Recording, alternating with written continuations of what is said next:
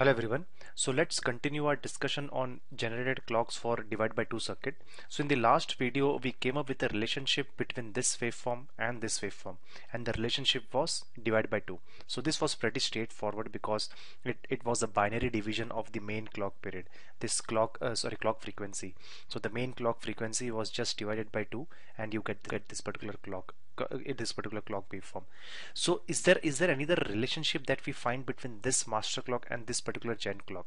So let's let's first what we'll do is we'll first identify edges for this particular master clock. So let's say this is the first edge of the master clock this is the second edge of the master clock this third fourth fifth and so on so if you try to compare the if you try to find a relationship between the edges of the master clock along with the generator clock then then can we do something about it okay so let's let's try to identify that part. So for example if you see this particular waveform the rise edge of the generated clock it starts at the first clock edge of the master clock. Okay so the rise edge of the generated clock uh, starts at the first edge of the master clock and then after this rise edge the next edge that comes for the generated clock is the fall edge.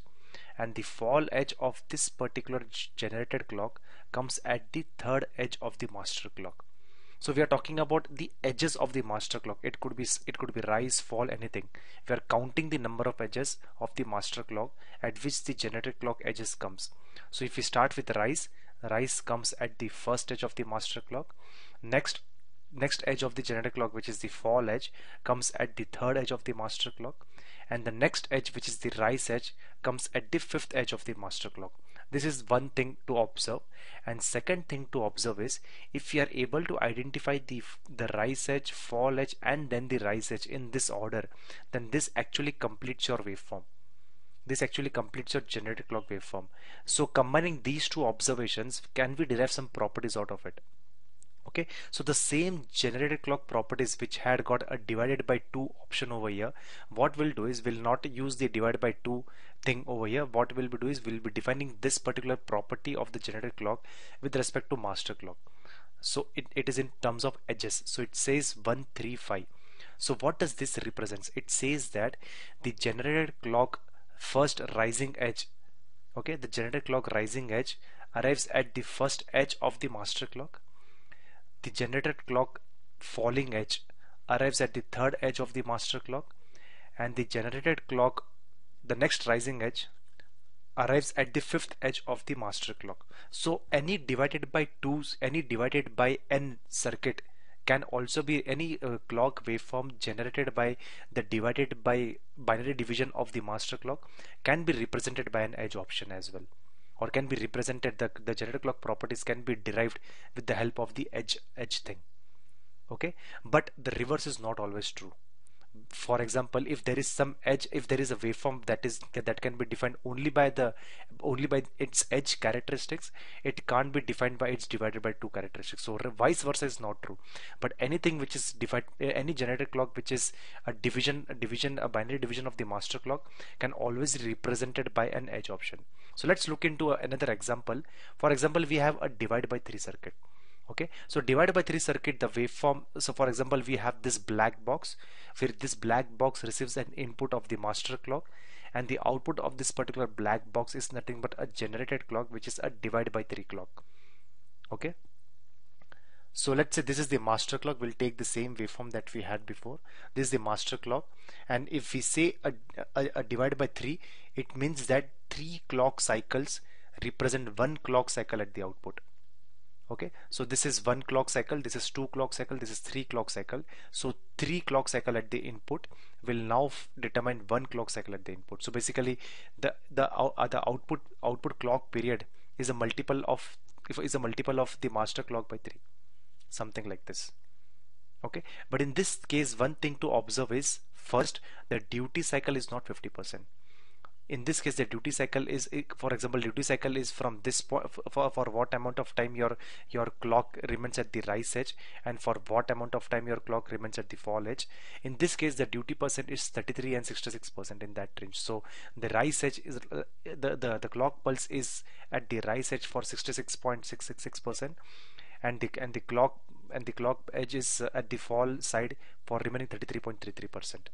Okay? So duty cycle is not exactly 50% so this waveform and and and the second thing to observe is this waveform has got certain relationship with the master clock in terms of edges. So in this case the right the rise edge of the generated clock comes at the first clock edge of the master clock.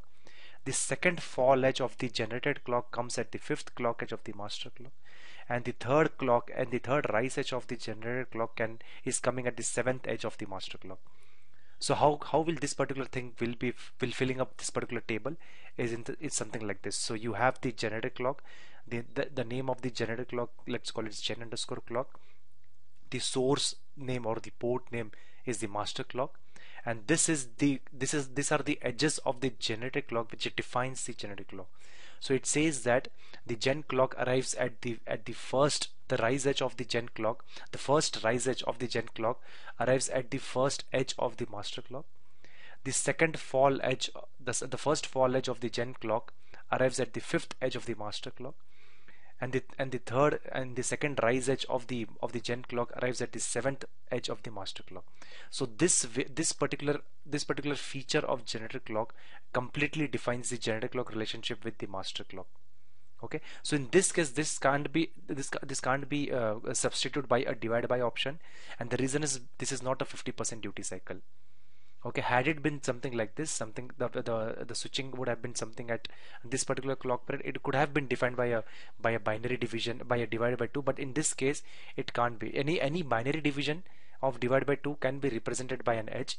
Any binary division at the edge can be represented uh, by a divided by 2 but the waveform which is uh, which is of this kind can't be can't, can't be even though it's a divide by circuit but it can't be represented by a divide by circuit okay so that's that's the problem that we see with the with the edge option and the, divide by 2 option. But we ha always have have a secondary option that will help to model the gen, gen clock waveform in terms of master clock. So basically this is all about finding a relationship of the gen clock with the master clock. And these are the options that are available with the designer. So using these options using all of them or some of them of this of these particular options we need to find out a way how the gen clock can be related to the master clock okay? So now what we'll do is we'll look into another circuit. It's called divided by two inverted circuit. So the waveform looks something like this. So for example initially you had this master clock and the gen clock was a divided by 2 of the master clock. So what if I just put an inverter over here? Let's say I put an inverter over here. The waveform shape gets inverted. It's still a divided by 2 of the master but the waveform shape get inverted, gets inverted okay? So this is how it will look like. You have the master clock. Your wave your uh, your gen clock is an inverted form of the of the master clock. Okay? It's a divided by two inverted form of the master clock. So how do we represent this this kind of waveform? So the best way is to do by edges. So first let's represent the gen clock and give the name as gen underscore clock. Give the source name as master underscore clock. Okay? And either you can use a divide by two option and use an inverted. You, you just use the inverted options over here. So this particular thing represents a gen clock with an inverted characteristics and the remaining will be cross so these are remaining are not used. Or what you can do is there is one more way. You can avoid the divide by divide by option and you can give edges option. You can give 3 5 7 so 3 is the is the first is the first edge of the gen clock or the, or the first rise edge of the gen clock it says that the rise edge of the gen clock arrives the first rise edge of the gen clock arrives at the third edge of the master clock. This the fall edge of the gen clock arrives at the fifth edge of the master clock and the and the next rise edge of the gen clock arrives at the seventh edge of the master clock. So this will represent your waveform and and and the inverted relationship between these two will be still obtained by the inverted options that we have over here okay? So this is how this is how the inverted option is being used in eh, to define the relationship between the gen clock and the master clock. So what we'll do is since we have we, we have learned about edge we have learned about the edge characteristics of the gen clock we have learned about the divide by characteristics of the gen clock we have learned about the inverted characteristics of the gen clock what we'll do is we'll derive a waveform we, we, we'll have a we'll have a waveform generated over here and we'll try to derive the properties over here okay? Oh sorry the other way around. We have we will, will be giving you the properties over here and we'll try to derive the waveform out of this particular properties. So let's try to do this in the next video. Thank you